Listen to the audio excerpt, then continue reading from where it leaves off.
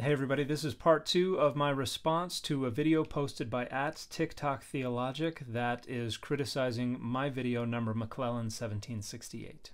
Also, the passage says that they were discovered, they were found. So this is inferring a consensual contact in which they get caught. There's absolutely no such inference whatsoever intended by the use of the verb matzah to find.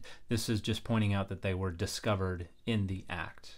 Uh, whereas the laws about when this happens in the city versus in the country don't have anyone discovering it. It's an accusation that is made later. Interesting. Dan's leaving out the fact that the word ana is also used in this passage earlier in regards to a consensual relationship in verse 24, where it says he humbled his neighbor's wife. Once again, it's not consensual because the notion of consent didn't exist back then. And as I pointed out, it means to violate, it does not mean to humble. She has been violated here.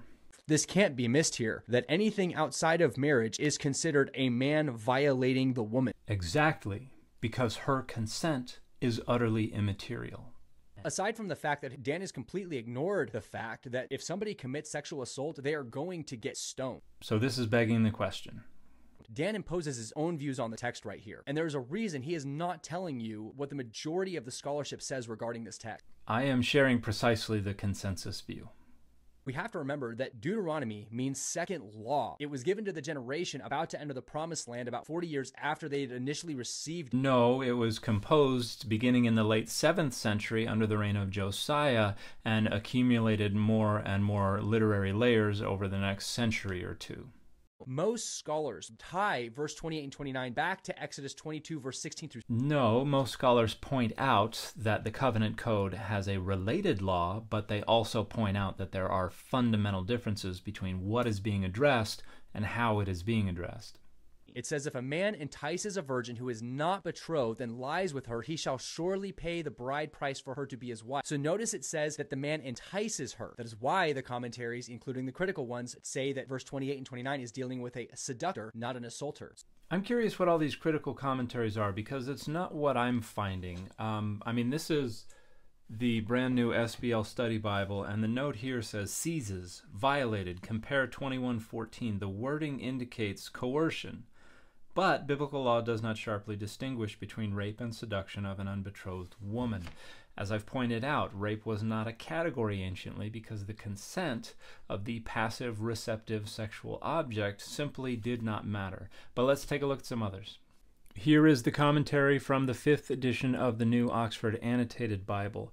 These conditions correspond to Middle Assyrian laws, section A 55, which implies forced rape.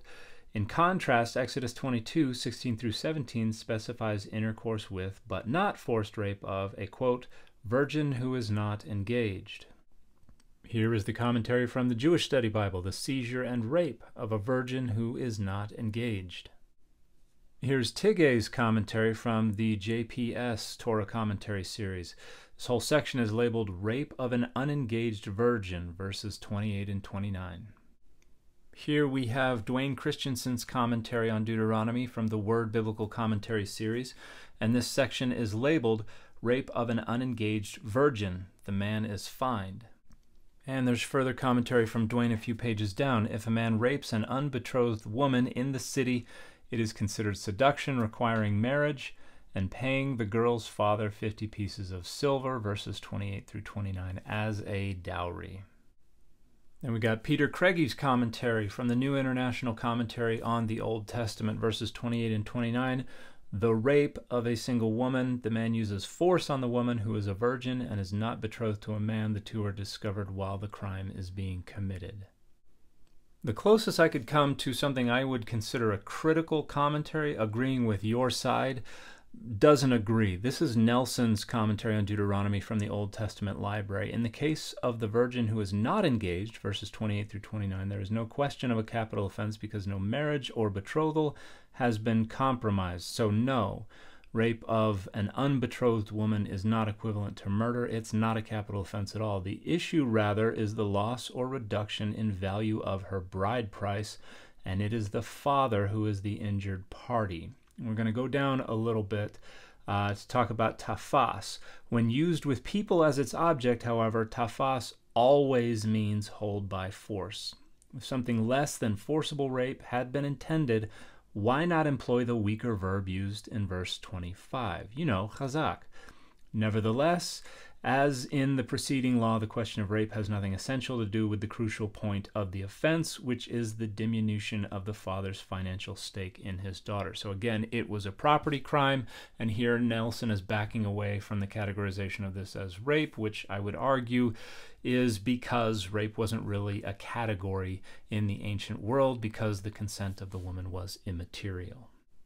And here are a couple of bonuses. One from the edited volume, A Feminist Companion to Exodus Through Deuteronomy. We have Carolyn Pressler's wonderful paper, Sexual Violence and Deuteronomic Law, where she comments Deuteronomy 22, 28 through 29, then has to do with the forcible violation of an unbetrothed girl. And then we can go look in the new Collegeville Bible commentary, which isn't a critical commentary at all, where it says rape of an unbetrothed virgin incurs a fine upon the man and disallows recourse to divorce, verses 28 through 29. Compare 18 through 19. But for all practical purposes, the woman is treated like damaged goods, exactly as I said. It is the academic consensus that Deuteronomy 22, verses 28 through 29, treat the crime of sexually assaulting a woman who is neither married nor betrothed. It is the academic consensus that these verses treat the crime as a property crime against the father, which is why the punishment is forced marriage and not death.